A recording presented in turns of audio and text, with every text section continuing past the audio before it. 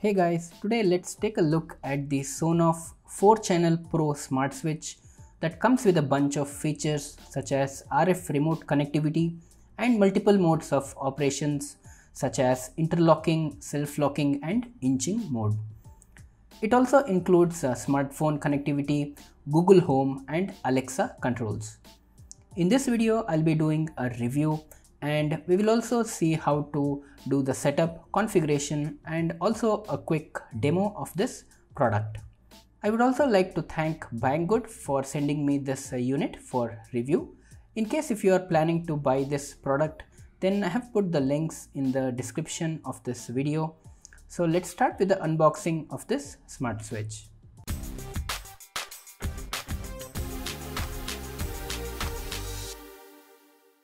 So on the box there are some uh, features that are listed out here which includes the remote control, timing schedule, self-locking, interlocking and inching mode. And uh, there is an app called EV Link which can be downloaded on uh, Play Store as well as on uh, App Store.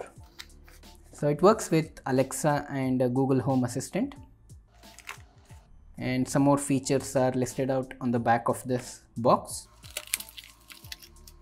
In the box we get this uh, smart switch and a couple of documentation. So we have the user manual which has instructions in Chinese and also in English.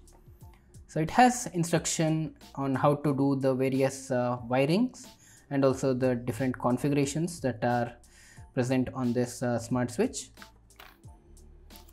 And we have some info on the app that can be downloaded from the Play Store it's called EV Link and also we have some quality certification and warranty card.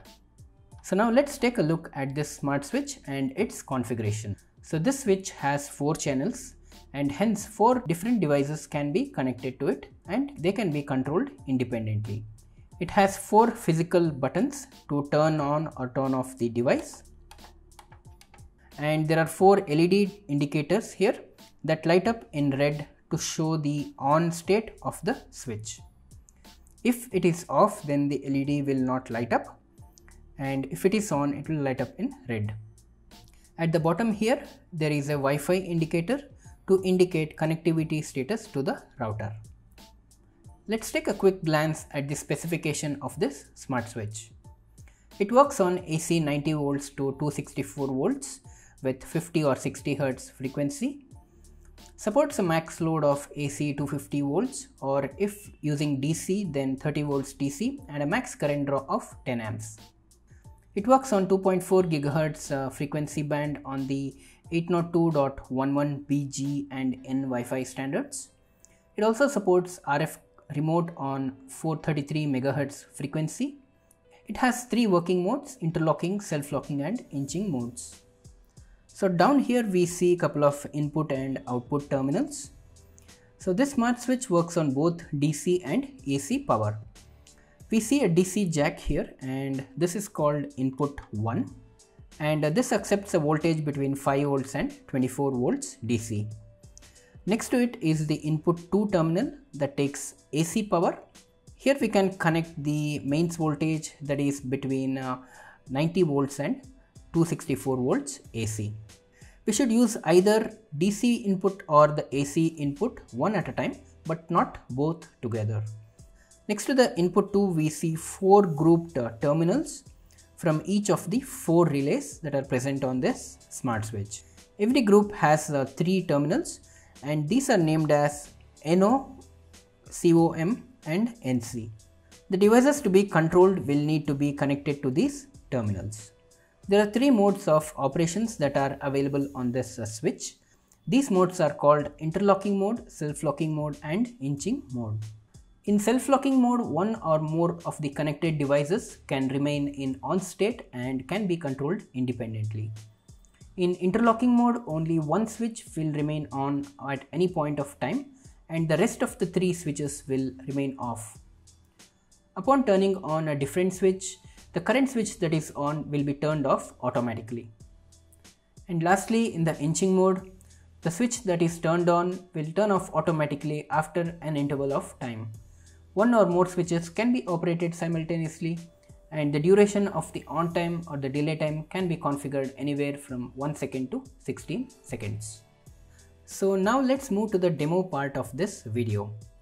I'll first make the connections to these uh, four devices and for this I'll be using four LED bulbs uh, red, green, blue and yellow. So these are rated uh, 0.5 watts and they work on the 230 volts AC power. I have connected uh, two wires to these uh, bulb holders and I've kept them open for now. I have also cut few more shorter wires and uh, I'll use this to make the connections. The connections needs to be made as shown on the Sonoff official webpage.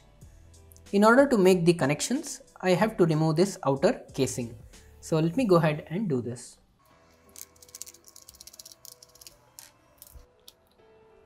The AC power from the mains or the wall outlet will need to be connected to this input terminal. I have a mains cable here and I have connected a plug to one end of the wire and the other end will go into this input terminal here. The pink colored wire here is the live wire and the blue color is the neutral wire. And I've also marked the same on the other end of the plug. So the neutral wire will go into this terminal on the left and the live wire will go to the right side. And this is also indicated on this uh, casing here. The left one is the neutral and the live is the right side. So connecting the wire is pretty simple. We just need to push this button on the top of the terminal, insert the wire and release the button. And similarly we have to do it for the other one. And next we need to connect the live wire to the middle terminal of all the switches. So this is called the COM and you can see that here the middle one so I will take a wire from this uh, terminal here which is the input. And this is from the live wire. So I'll insert a wire here. I'll take another shorter wire and connect it to the next terminal. And I'll do this for the next one. And the last one. I will now connect one wire from each of the bulb to the first terminal of every switch here. So I'll take the pink color wire and connect it to the first terminal on the first switch. And this terminal is named as NO on the outer cover. And I'll take the second bulb and connect it to the first terminal of the second switch. The third one now and the last one. So you can see that one wire of all the bulbs is connected to one of the terminal of the individual switches. The other end of each and every bulb will need to be connected to the neutral wire of the input terminal. And for this I'll take one longer wire here and make a connection from the neutral which is right here. I will connect all these wires together and then connect this uh, neutral wire to this joint. As you can see I've made this uh, connection and for safety reasons and to avoid any kind of shock I will put an insulation tape to this exposed wire. As you can see from the schematic diagram here on the case, the middle terminal which is called the COM on each and every switch. This is by default internally connected to the last terminal which is called the NC. So the first terminal here which is called the NO is always open when we give the command to turn on the switch, then the middle terminal that carries the live current, this gets disconnected from the last terminal and then gets connected to the first terminal and completes the circuit. So any device that needs to be turned off by default, this needs to be connected to the first terminal here and any device that needs to be turned on by default when the device is switched on, this needs to be connected to the third terminal of the relay switch. Okay guys, I have reviewed all the connections and everything seems to be fine. And for safety reasons again, I'll just close this uh, casing on the top of this uh, PCB. So now let me go ahead and power on this uh, device. I'll be using this spike buster and the live current is uh, present on the right side of this uh, socket here and uh, this is the plug and I mark the live wire here so let me go ahead and insert this plug here. So the device is now powered on and uh, you can see that the Wi-Fi LED indicator is uh, blinking. So currently this is in the self-locking mode and uh, we can control the connected device individually using the buttons on the device. So the first one is the red the below one is the green a third one and the fourth one. So now let's go ahead and configure the Wi-Fi app. So I have downloaded the eWeLink app from the Play Store. So let me go ahead and open it. So you can see that currently there are no devices added to my account. So first we need to put the smart switch in its uh, pairing mode. So for this I'll press and hold the one of the four switches here for about 7 seconds until the Wi-Fi LED starts blinking 3 times and repeats.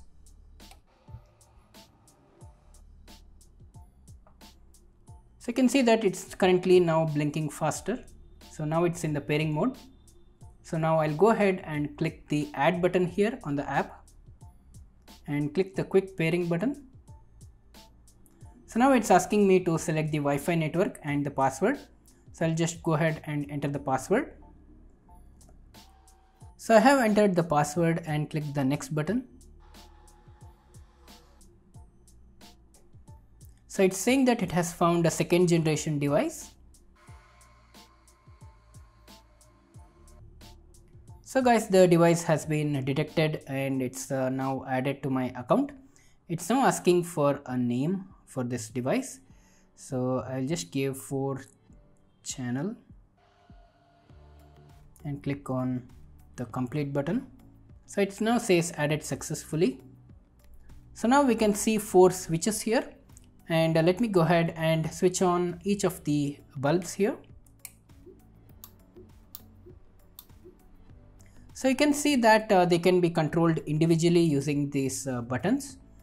And we also find some more options when I click on the big button there to actually get a different view of these uh, switches. So all have been turned off. There are a lot of other options available on this app so you can see that here I can uh, use the schedule option uh, with which I can schedule a timer to switch on or switch off these uh, lights on any day any time and this can be repeated daily weekly or even on any specific day of the week there is also a countdown timer here with which we can change the state of these bulbs after a specific interval of time. So if we go to the settings here on the top, we have the options to uh, configure the power on state switch here. So when the Sonoff switch is powered on from the mains, the individual switches can be set uh, to remember that uh, status there is also an option here which is called disable indicator and when I switch on this option you can see that the Wi-Fi LED light here this will turn off. So this is good in case if you want to switch off this LED during night. So now let's take a look at the different modes of operation of this uh, switch. I had mentioned about uh, three modes earlier in this uh, video. So the current mode that we saw is the self-locking mode wherein one or more of the connected device will remain in the on state until it is switched off individually. So now let's change this mode to the inching mode. So let me go ahead and power off this uh, device and I've just removed this plug also for safety reasons. I'll remove the casing. There is a dip switch here and this is called the K5 work mode switch we need to change the position of all these uh, four switches to zeroth position to enable all the switches in the inching mode. For now, I'll uh, do it for the first three switches and I'll leave the last one in the self-locking mode. I will also change the delay time to turn off the switch after 4 seconds. By default, it is 16 seconds which is the highest and this can be changed by looking to the true value table in the user manual. For 4 seconds, the combination is 1100. So this delay is applied to all the switches that are in the inching mode.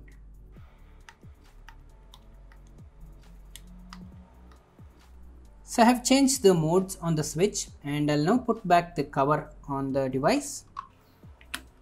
So let me go ahead and power on this uh, device. I'll now go ahead and switch on all the bulbs one by one and you should see these first three bulbs uh, going off after 4 seconds.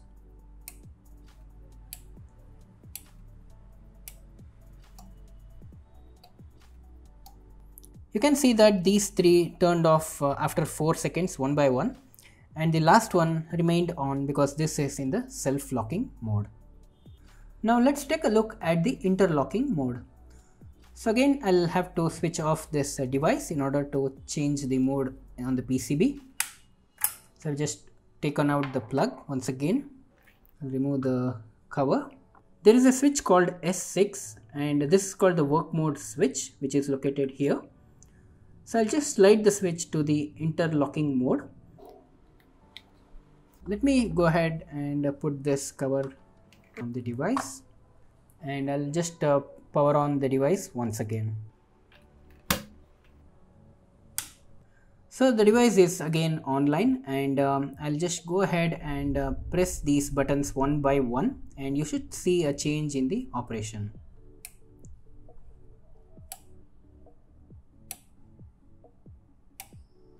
So you can see that only one device can turn on at any given point of uh, time and the other switches will remain turned off. I also have this RF remote that works on the 433 MHz frequency band and uh, this can also be used to control these uh, switches and this can operate based on the mode that is configured on this Sonoff device. So we have these four buttons A, B, C and D for the individual switches on the Sonoff uh, switch. We need to train these buttons before we can use them. For this we need to press twice on one of the buttons of the Sonoff uh, switch and then press a button on the remote. So let me go ahead and do this. If it learned successfully then uh, this green LED for the corresponding switch will blink three times indicating that it has been configured. So let me go ahead and do for the second button here.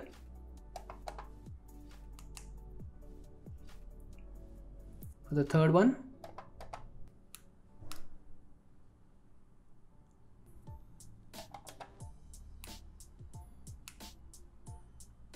So it has successfully learned all these four uh, buttons. So let me press this one by one.